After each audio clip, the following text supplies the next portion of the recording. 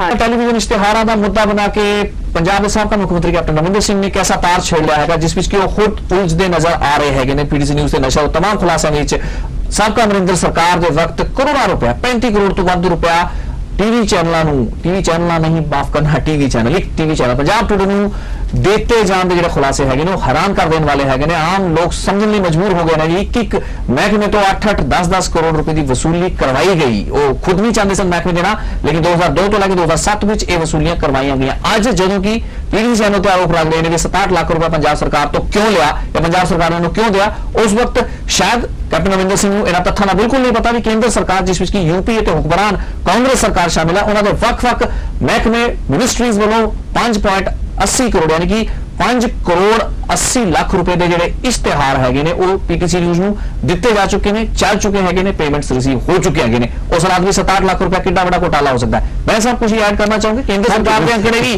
ਤੁਹਾਡੇ ਤੋਂ ਕਾਫੀ ਉੱਤੇ ਚਲੇ ਗਏ। ਸਾਨੂੰ ਕਿਹਾ ਜਾਂਦਾ ਵੀ ਤੁਸੀਂ ਫੇਵਰੇਟ ਫੇਵਰੇਟਿਜ਼ਮ ਦਾ ਹਿੱਸਾ ਹੋ ਲਾਭਪਾਤਰ ਹੋ ਲੇਕਿਨ ਮੈਨੂੰ ਲੱਗਦਾ ਵੀ ਤੁਹਾਡੇ 67 ਲੱਖ ਦੇਖੀਏ ਤੇ ਅਸੀਂ ਕੇਂਦਰ ਸਰਕਾਰ ਦੇ 5.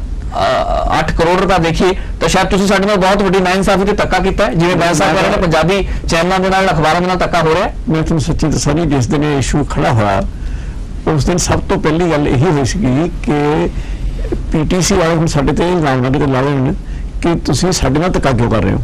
ਕਿਉਂਕਿ ਦੇਖੋ, ਦੋ ਬੜੀਆਂ ਅਹਿਮ ਚੀਜ਼ਾਂ ਹੁਣ ਤੁਸੀਂ ਪੁਆਇੰਟ ਆਊਟ ਵੀ ਕੀਤੀ ਗੱਲ ਹੋ, ਕਿ ਕੇਂਦਰ ਦੇ ਵਿੱਚ ਇਸ ਵੇਲੇ ਕਾਂਗਰਸ ਪਾਰਟੀ ਦੀ ਸਰਕਾਰ ਆ, ਜਿਹੜੀ ਕਿ ਕੈਪਟਨ ਅਮਰਿੰਦਰ ਸਿੰਘ ਹੁਣਾਂ ਦੀ ਪਾਰਟੀ ਹੈ ਤਾਂ ਸਾਡੇ ਤੇ ਇਲਜ਼ਾਮ ਲੱਗ ਰਿਹਾ ਹੈ ਜਿਹੜਾ ਕਿ ਵੱਧ ਤੋਂ ਵੱਧ ਇਲਜ਼ਾਮ ਦਾ ਕੈਪਟਨ ਅਮਰਿੰਦਰ ਸਿੰਘ ਨੇ। 5 ਸਾਲ ਵੱਧ ਤੋਂ ਵੱਧ ਇਲਜ਼ਾਮ ਲਾ ਸਕੇ ਨੇ ਤਾਂ 66 ਲੱਖ ਰੁਪਏ ਪੀਟੀਸੀ ਦਾ ਲਾ ਚੁੱਕੇ ਸਕੇ ਨੇ।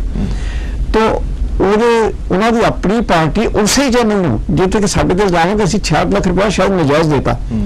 ਉਸੇ ਚੈਨਲ ਨੂੰ 5 ਕਰੋੜ ਤੋਂ ਵੱਧ ਪੈਸੇ ਉਹ ਉਹਨਾਂ ਦੀ ਆਪਣੀ ਪਾਰਟੀ ਸਰਕਾਰ ਦੇ ਰਹੀ ਹੈ।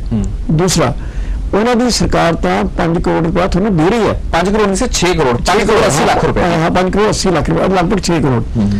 ਉਹ ਤਾਂ ਤੁਹਾਨੂੰ ਦੇ ਰਿਹਾ ਹੈ ਅਸੀਂ ਤਾਂ 1 ਕਰੋੜ ਰੁਪਏ ਤੁਹਾਡੇ ਤੋਂ ਵੀ ਲੈ ਆਏ ਆ। ਤੁਸੀਂ ਸਾਡੀ ਇਹ ਤੁਸੀਂ ਹਿੰਮਤ ਦੇਖੋ ਕਿ ਜਿਹਨੂੰ ਕੇਂਦਰ ਸਰਕਾਰ ਵੀ 6-6 ਕਰੋੜ ਰੁਪਏ ਦੇ ਰਹੀ ਹੈ ਇਸ ਤਾਂ ਉਹਨਾਂ ਤੋਂ ਵੀ 1 ਕਰੋੜ ਰੁਪਏ ਕਮਾਇਆ। ਹੁਣ ਇਹਨੂੰ ਅਸੀਂ ਤੁਹਾਡੀ ਤ- ਕੰਜੂਸੀ ਦੀ ਤਾਰੀਫ ਕਰੀਏ ਜਾਂ ਤੁਹਾਡੇ ਪੱਖਪਾਤ ਦੀ ਦੇ ਲਈ ਤੁਹਾਡੀ ਇਹਨੂੰ ਜਿਵੇਂ ਬੈਂਸ ਸਾਹਿਬ ਨੇ ਕਿਹਾ ਕਿ ਅਸੀਂ ਮੀਡੀਆ ਨੂੰ ਕੰਟਰੋਲ ਕਰਦੇ ਹਾਂ ਤੁਸੀਂ ਇਹ ਸਮਝ ਲਓ ਕਿ ਤੁਹਾਨੂੰ ਕੰਟਰੋਲ ਕੀਤਾ ਕਿ ਤਰੀਕੇ ਨਾਲ ਅਸੀਂ ਤੁਹਾਨੂੰ ਤੁਹਾਨੂੰ ਹੀ ਗਵਾਨੀ ਨਹੀਂ ਦਿੱਤੀ। ਤੇ ਜੇ- ਜਿਹੜਾ ਬੈਲੈਂਸ ਸ਼ੀਟ ਹੈ ਤੁਹਾਡੀ ਔਰ ਸਾਡੀ ਇਹ ਦੇਖਿਆ ਜਾਵੇ ਪੀਟੀਸੀ ਔਰ ਗਵਰਨਮੈਂਟ ਦੀ ਉਹ ਇਸ ਵੇਲੇ ਸਰਕਾਰ ਨੇ ਤੁਹਾਡੇ ਤੋਂ ਪੈਸੇ ਕਮਾਏ ਨੇ।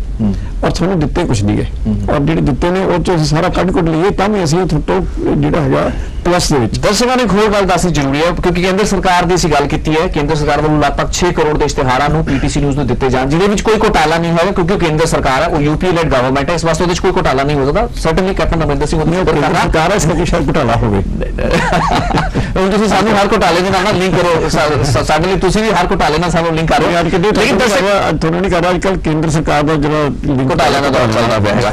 ਲੇਕਿਨ ਦਰਸ਼ਕਾਂ ਨੂੰ ਦੱਸਦੀ ਵੀ director directorate of audio visual publicity ਉਹ ਮਹਿਕਮਾ ਹੈਗਾ ਤੇ ਉਹਦੇ ਜ਼ਰੀਏ ਇੱਕ ਰੇਟਸ ਤੈਅ ਹੁੰਦੇ ਨੇ ਤੇ ਜਿਹੜੀ ਅਸੀਂ ਗੱਲ ਬਾਰ-ਬਾਰ ਪਿੰਚ ਜਾਂ ਹਿੱਟ ਕਰਨਾ ਚਾਹ ਰਹੇ ਹਾਂ, ਉਹ ਇਹ ਹੈਗੀ ਵੀ 2002 ਤੋਂ ਲੈ ਕੇ 2007 ਦੀ ਸਾਬਕਾ ਅਮਰਿੰਦਰ ਸਰਕਾਰ ਦੇ ਵਕਤ ਜਿਹੜੇ ਇਸ਼ਤਿਹਾਰਾਂ ਦੀ ਵੰਡ ਹੋਈ, ਪੰਜਾਬ ਟੁਡੇ ਨੂੰ 35 ਕਰੋੜ ਦੇ ਕਰੀਬਨ ਇਸ਼ਤਿਹਾਰ, ਜੋ ਜੇ ਜੇ ਕੋ ਕੀਤੀ ਜਾਏ ਤਾਂ ਸ਼ਾਇਦ ਇਸ ਤੋਂ ਵੀ ਵੱਧ ਅੰਕੜਾ ਹੋ ਸਕਦਾ ਹੈ ਉਹਨਾਂ ਨੂੰ ਡਾਇਰੈਕਟੋਰੇਟ ਆਡੀਓ ਵਿਜ਼ੂਅਲ ਪਬਲਿਸਿਟੀ ਦੇ ਅਪਰੂਵਡ ਰੇਟਸ ਦੇ ਨਾਲ ਨਾ ਦੇ ਕੇ ਮਨ ਚਾਹੇ ਰੇਟਾਂ ਦੇ ਦਿੱਤਾ ਗਿਆ। ਕੋਸਾਨੀ ਜੀ ਕ੍ਰਾਈਟੇਰੀਅਨ ਹੈਗਾ ਕੋਈ ਵੀ ਕੇਂਦਰ ਸਰਕਾਰ ਜਾਂ ਸੂਬਾ ਦੀ ਸਰਕਾਰ ਹੈਗੀ ਹੈ, ਜਦੋਂ ਵੀ ਉਹ ਇਸ਼ਤਿਹਾਰ ਟੀਵੀ ਚੈਨਲਾਂ ਤੇ ਦਿੰਦੀ ਨੇ ਉਹਨਾਂ ਨੂੰ ਰੇਟ ਅਪਰੂਵ ਕਰਨੇ ਪੈਂਦੇ ਨੇ ਕਿਹੜੇ ਚੈਨਲ ਦੀ ਕਿੰਨੀ